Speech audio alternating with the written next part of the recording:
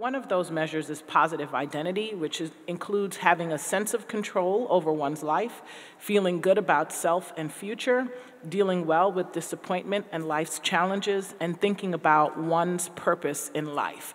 And of the four measures that we have, again, three of them uh, we have data for two years and um, from St. Paul and one year from Minneapolis. Positive identity had the lowest rate um, of students self-reporting as having that skill. So whereas the others, uh, commitment to learning, were in the 70s, social competence in the um, 50s, positive identity was in like 46% or something. And again, not using this in a high stakes way, um, but thinking about what that says for our students that so many of them are reporting that lower than other skills, having positive identity, it to me reinforces what Dale said about what the adults need to do to create environments that support children. So that was one of the pieces of data that I said, hmm, I wonder what this is about.